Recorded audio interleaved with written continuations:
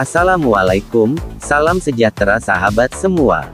Selamat pagi selamat beraktivitas, semoga aktivitas kita semua di pagi hari ini diberikan kelancaran dan kemudahan. Sekilas info harga TBS hari ini di beberapa wilayah Jambi dan Riau di tingkat petani hari Senin tanggal 25 Juli tahun 2022, perlu diketahui bahwa harga TBS tandan sawit di setiap wilayah berbeda-beda, sesuai harga yang ditetapkan para pembeli ataupun pengepul di wilayah setempat.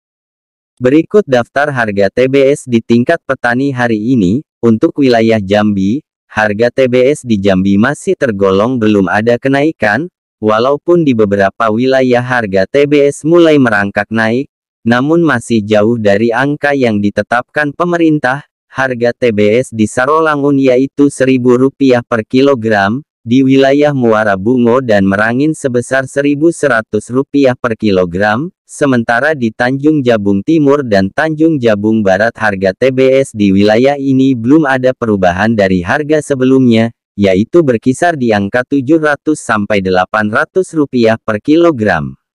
Sementara harga TBS tandan buah segar di Riau juga mengalami hal yang sama.